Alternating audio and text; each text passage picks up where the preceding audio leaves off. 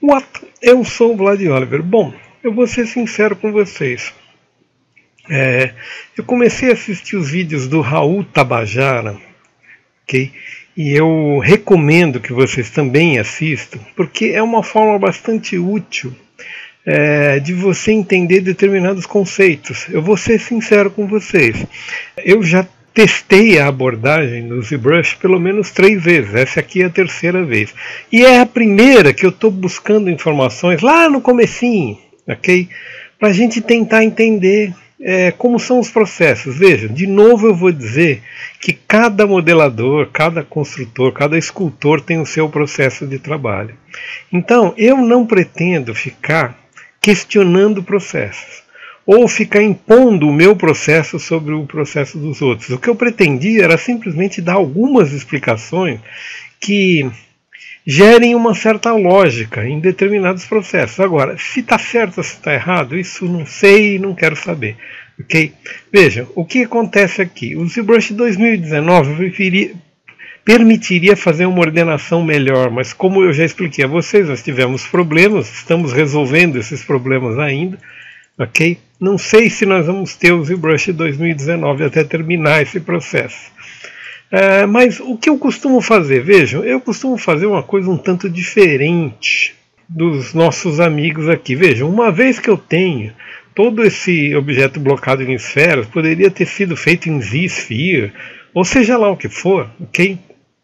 É, ele permitiria esse tipo de arranjo aqui a gente pode fazer algumas coisas com esse arranjo. Veja, uh, quando, quando eu vou, conforme eu vou vindo aqui, vejam, eu vou achando, opa, mais para cima, mais para baixo, tuf, tuf, tuf. Uh, eu vou achando aqui, vou vir na ordem aqui, é, os grupos de esferas que eu usei para trabalhar. Ou seja, é, isso aqui é muito semelhante a quem trabalha com Z-Sphere também, ok? Mas é um processo um tanto diferente. É, volto a afirmar também que eu não tenho esse costume de trabalhar com este processo. Portanto, talvez eu apanhe, talvez eu faça algumas coisas que não sejam muito indicadas. Vamos entrar no see-through um pouquinho eu quero mostrar uma outra coisa para vocês. Opa, primeiro eu preciso trazer. Este aqui é o perfil é, da boneca do Shane Olsen. Vejam como ele deformou todas as peças. Continuo falando a vocês, não consigo fazer isso aqui, não sei como é que faz. Se alguém me disser como é que faz, vai ser muito bem-vindo. Ok? É, e isso daria para a gente vir aqui ao ZBrush ok? e comparar as duas as duas pragas. Lembrem-se, agora eu estou usando aqui as ferramentas. Quando eu, eu, eu aperto o Alt, o botão esquerdo do mouse, eu posso dar uma pan no meu canvas. E se eu solto o Alt, ele vira é, zoom, ok? Mas vamos continuar com o Alt aqui. Vamos ver o que eu estou fazendo. Veja, completamente diferente, completamente ruim, né? O que, que nós podemos, o que, que nós precisamos fazer aqui? Bom, é, para que eu tenha esta configuração aqui, várias coisas precisam ser feitas. Okay? A primeira delas, muito provavelmente, é esconder o bumbum, porque o bumbum faz, uma, faz parte de uma, outra, um outro momento. Mas vamos fazer com ele mesmo e dane-se. Okay? O que, que eu preciso fazer? Vir aqui no Move Topological okay? e começar a, a trabalhar a topologia dessa minha perna. Okay? Vejam que ela é bem maior do que eu estou fazendo aqui, ok? É, vejam, é, esse bumbum aqui ainda vai me atrapalhar, vamos procurá-lo aqui. Eu, eu confesso a vocês, vocês vão falar assim, pô, cara, o cara tá meio... Né? Vamos apagar esse bumbum um pouquinho aqui. E é ele, né? Vamos ver, puf, é aqui. Muito bem. Ah, tem esse objeto aqui, Ok? É, vou continuar selecionando os vários objetos com os quais eu estou trabalhando. Eu não, não, é. Depois que você é, trabalha uma, algumas vezes com essas coisas aqui, fica mais fácil você saber o que está onde. Isso aqui eu vou dar um move, vou abaixar um pouco aqui. Como vocês podem ver, está lá para trás, inclusive. Ok? Então eu vou vir aqui, vou subir um. Com este aqui eu não quero move, eu quero draw. O draw significa que eu vou aumentar aqui, etc, etc. Aí existe uma coisa Que, vejam, eu não sabia, vou ser sincero com vocês. Aí vocês vão falar, pá, mas o cara está ensinando e não sabe nada. Vejam, há uma diferença muito grande em, ensinar e ser tutorialista. Nosso amigo é, Raul Tabajara é um, editor, é um tutorialista, eu não sou, ok? Eu sou um usuário que estou tentando aprender a usar essa tralha aqui. É só isso, ok? Então eu tenho dúvidas, algumas dúvidas eu vou tirar com grande facilidade, outras não. Vejam o seguinte, ele fala sobre Dynamesh. E eu não sabia alguns processos do Dynamesh. Se você vier aqui com o control para fora, veja, é, quando você coloca aqui, você adiciona a máscara. Isso ele explica isso. Ele explica que o, o controle e o Dynamesh, vejam que não aconteceu nada, né? São, é, é, são eles dividem o mesmo atalho. Isso aqui é meio complicado, são as, as complicações do nosso amigo ZBrush, ok? Mas existiria a possibilidade, veja, eu vou fazer isso aqui só por é, burrice minha aqui, veja, eu vou vir aqui, vou dar 64, ok? Tem duas possibilidades. Resolution 64, meu amigo. Aqui, pronto. É, não acontece nada aqui, a menos que você faça, é, você peça Ctrl aqui, opa, com, não, aqui eu estou mascarando. Ou você aperte aqui o Dynamesh, pronto. E o que está acontecendo aqui? Está acontecendo que você dobrou a resolução, ok? E dobrando a resolução da malha, você consegue mais acuidade, ok? Mais acuidade para trabalhar, ok? Vejam, isso aqui que eu estou fazendo não é necessário. E, se vocês forem fazer, tentem fazer 32, 64, 128 e não passem de 500, vocês vão travar a máquina de qualquer jeito, ok? Então, é, não é necessário muito. Eu, sinceramente, poderia voltar aos meus 32 aqui. Eu só estou mostrando para vocês 32, Enter, Dynamesh, Puff. Eu só estou mostrando para vocês que existe essa possibilidade. Como eu estou na fase de blocagem, não estou na fase de, de escultura, não faz ainda o menor sentido. Quando a gente chegar na, no rosto da, da, nossa boneca aqui, aí vai começar a fazer sentido que a gente mexa, ok?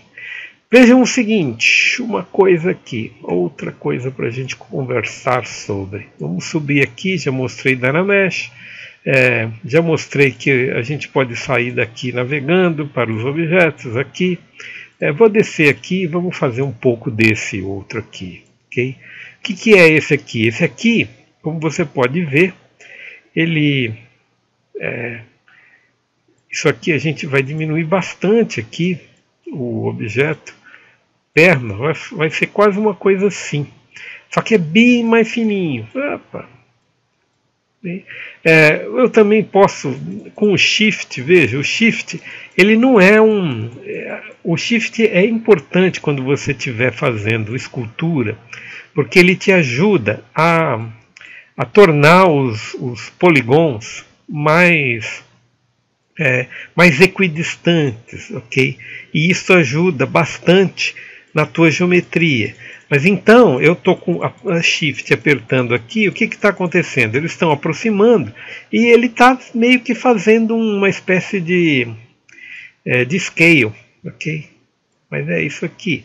Agora eu venho aqui, dou um move, coloco mais para baixo aqui, ok? Não está ótimo aqui, mas já está é alguma coisa parecida com isso. Veja, é, pelo que eu estou vendo aqui, draw, vamos dar um draw aqui essa, essa batata aqui ela é mais, ela é mais para baixo, ok? Sempre passa o shift. Quando você estiver fazendo para que você possa efetivamente é, é, tá muito baixo ao meu ver. Vou mover um pouco para cima ok? E como vocês podem ver deixa eu dar um F. Como vocês podem ver tem muita perna para pouco uh, tem muita, muita coxa para pouca perna aqui, ok? Então talvez eu possa vir aqui e escalar esse objeto aqui, movê-lo para baixo aqui, ok? E conforme vejam, tudo isso é approach, aproximação, ok? Você vai se aproximando da situação ideal aqui. Não sei aonde está aqui você. você aqui embaixo, ok? É, ainda não vou mexer nesse troço aqui, isso aqui depende de fazer uma perninha bacana, mas eu estou fazendo, faz, no, no, no, início aqui eu estou fazendo esta parte aqui. Vamos dar um zoom aqui. Vejam como nossa modelinho aqui tá é, tá ruim, né? Tá, continua aparecendo o boneco Michelin. O que, que eu preciso fazer? Bom, algumas coisas. Vamos subir aqui, vejam. Neste aqui eu posso diminuir isso aqui Veja, o simples fato de eu diminuir transforma isso aqui mais um pouco num, num efeito calcinha. Talvez eu tenha diminuído até muito, mas aqui, ok? E, acho que se eu subir mais uma, opa, opa, opa, vai ficar procurando aqui, né?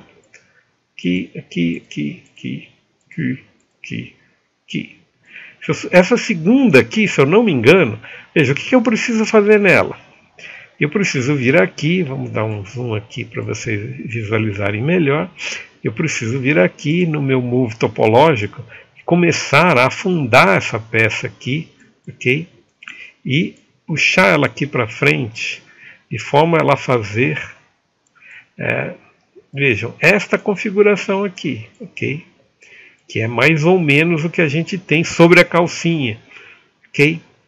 E aqui, é, a, as costas elas fazem um, um arco aqui, um arco interno, elas não são bolas como a gente estava vendo, ok? Então, resolvido isso, acho que aqui qual é o próximo? Resolvido isto, venho aqui. Este aqui também, eu preciso puxar bastante aqui, talvez puxar assim, ok? É, e ele vai cair também sobre o, é, sobre a barriga, ok? Isso aqui é parte do peito, ok? Então é mais ou menos assim, ok? E ele vai criar uma junção com o, os, os ombros que estão muito grandes. Vejam que aos pouquinhos, muito aos pouquinhos, a nossa boneca vai tendo, vai criando as formas que a gente tinha inicialmente, ok? É mais ou menos por aí. Outra coisa que eu posso fazer, vejam, reduzindo um pouquinho essa. Posso puxar um pouco isso aqui, aqui assim, ainda sem muito. Vejam, formar a região do peito, ok? Dos seios, ok? Isso aqui é parecido com o que eu estou vendo aqui. Bom, como eu já cheguei bem na minha hora, por enquanto isso aí, nos vemos no próximo vídeo, onde vocês já vão ver isso aqui transformado.